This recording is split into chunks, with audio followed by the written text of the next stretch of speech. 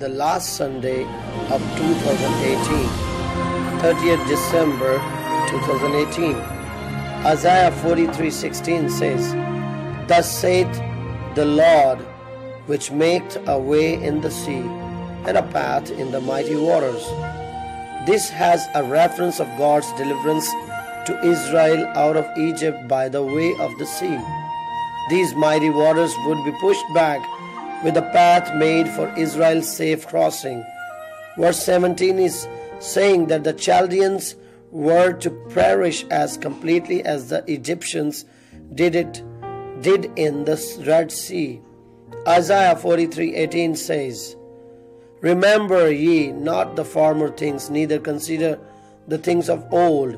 The Holy Spirit is saying that the old deliverance will be nothing compared to the new. Israel must cast its eyes forward and not backward. Church, we need to push forward, pray until something happens in the situation that we are going through. Don't look back to where you used to be. Don't focus on the old man and old lifestyle.